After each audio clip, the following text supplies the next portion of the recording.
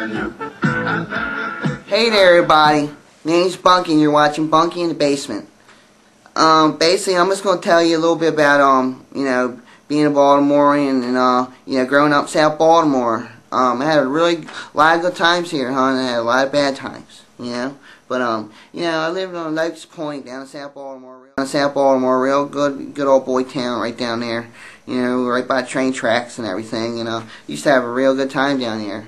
One thing about South Baltimoreans is that, um, they, um, well, you know, we're real nosy. Every time, like, the fire trucks go by, you know, like, and, and you'll hear them, too. You'll hear them loud, too. Fire trucks going by. Paramedics going by. Police officers, you know, police cars running by. That's when everybody comes out of their houses and goes and sits on their stoop. You'll see them all, too. If they're not sitting on their stoop, they're hanging out of their doors with their iced teas and, you know, and smoking cigarettes and Fritos and everybody wants to know what's going on. And I remember one night it was real bad for me because uh, we thought our Aunt Dolores was uh, in the house. Um, she was supposed to be in the house um, watching um, Melrose Place and um, eating one of the turkey dinners that we got from for her up at the Box and Save up there on uh, Ritchie Highway. But uh, but no, she snuck out the house and she we seen her up on the corner and she was trying to buy an extension cord from her from a crackhead.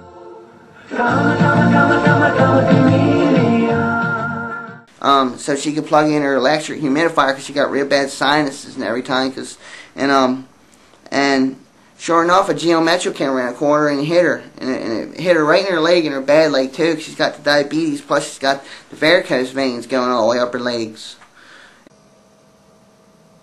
And it hit her in her bad leg. She fell down, and oh my God.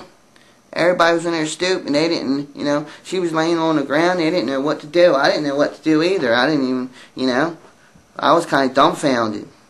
And I ran over and I said, Aunt Dolores, Aunt Dolores, you okay? You okay, Aunt Dolores? And she said, and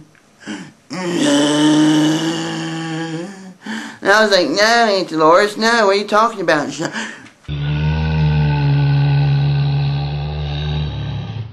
you know, and they picked her up. She had a bad leg, you know. I don't know why she was talking like that either.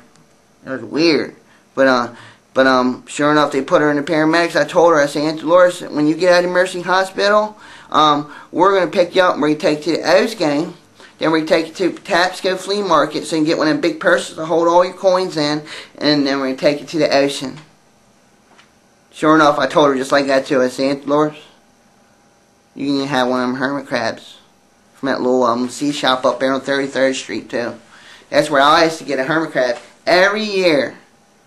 Every year I got a hermit crab. And I would name them. At one was uh, Tony Saragosa. I named the other a hermit crab. Cal Ripken. You know, and Aunt Dolores always pull through. I remember one time she whacked me right over the head with um my trapper keeper that I just got for school. She hit me right over the head with it too because I um I would get my markers and I would cut when she fall asleep I'd color in her her varicose veins on her legs. Thank you.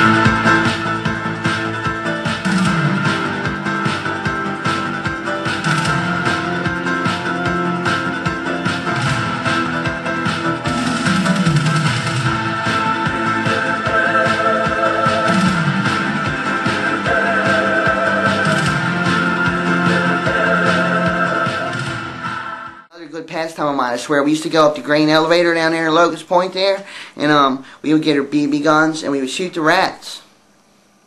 I felt just like John Wayne most of the time. And if I wasn't feeling like John Wayne, then I would be feeling like um, Clint Eastwood. And if I didn't feel like Clint Eastwood, then I'm um, Steven Seagal. But usually um, John Wayne and Clint Eastwood first. It was off nights I was Steven Seagal. And I had I had the ten Joey had just a one pump gun. And I had the ten pump and I always felt like I had the advantage over him because, you know, I had a stronger um air rifle. You know, I was it was kinda more serious. You know, I told him, Don't look don't look at this like a joke. I have ten pump BB gun right here. You know what I mean? So, you know, watch what you say is basically what I was trying to tell him.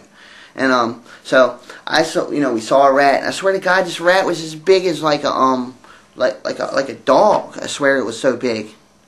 or, or it was it was as big as a cat. Let's just put it that way. And um, it was right there by the um train tracks. And um, what did I do? now Joey, this is all he does. But me, no, I'm over in the corner and I got my I got my aim. I had a scope too. Um, my uncle bought me a scope to um put on my uh, ten pump. It didn't fit, but we taped it on there and it worked. Sure enough, worked just as good as any other um scope ever did. And I was um I was Clint Eastwood this night and I aimed, but first I had to pump. It was like.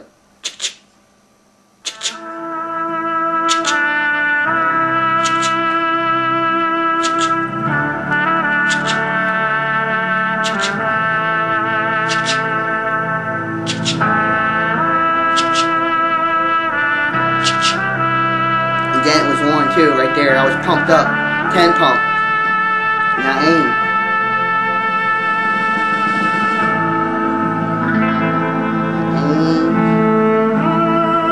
Kapow! And I took the brains right out of that fucking rat. I swear to God I took the fucking brains right out of that rat.